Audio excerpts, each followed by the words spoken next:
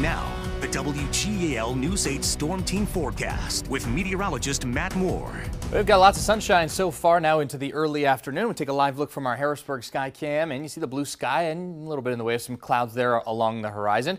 Temperature's not bad, 57 degrees and uh, mainly just a light breeze out of the southeast at this time, so not much of a chill in the air at this hour. In the uh, 50s pretty much everywhere here across the Susquehanna Valley, closing in on the lower 60s around Coatesville right now, and everybody should be heading into the 60s as we head into this afternoon. Mid 60s looks like a pretty good bed for us with partly sunny skies, but the reason for the warm up is a cold front that's marching its way towards us, and that front may try to bring a couple of showers in late as we head into the evening hours. And if we're going to see that, though, it looks mainly like our northwestern counties. I think if you're north and west of Harrisburg, that's where you have that chance of a shower late this evening. South and east of there, you should be staying dry here as we go through the rest of today and even most of tonight as well. Any shower activity we have should be in our northern counties, but everybody turns mostly cloudy, though, as that front gets closer to us. It never really goes through. It kind of stalls out to our west, but it is close enough to bring that shower chance. Now through the day tomorrow, the front actually backs off a little bit. It goes farther west and we're going to get even warmer air moving in near 70 for that high temperature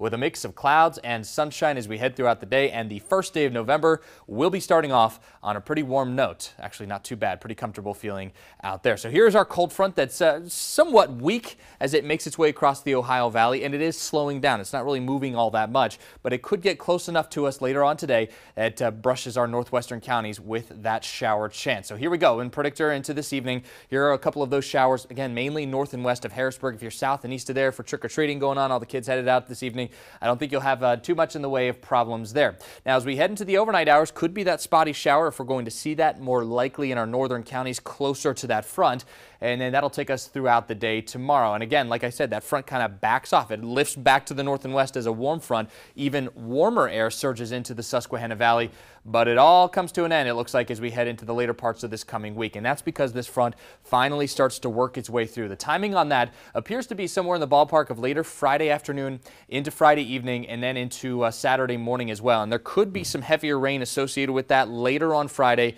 and as we head into the early hours on Saturday morning. So that's something we're watching for here as we head into the weekend itself. But we will be seeing a warm up from today into tomorrow, near 70 for that high tomorrow. And then the shower chances start to return for your Friday forecast. And again, that rain could turn a little bit heavier for us. Depends on where that front is later in the evening on Friday into Saturday, but still some rain around for Saturday morning. And then I think we clear out for Sunday. And don't forget, we fall back Saturday night into Sunday. You'll get an extra hour of sleep, but the sun will set an hour earlier and then more shower chances. It looks like early into next week. So that time of the year, but November 1st is what tomorrow, and we're going to be seeing some pretty warm weather near 70 about for that, that. All right. How about it? Yeah. Okay, well, at least you don't have to cover up the costume. That's kind of what I was thinking for the kids. It's almost perfect. Yeah. Hopefully the rain can stay off to the north and west until later on tonight. All right. Thanks, Matt. Mm-hmm.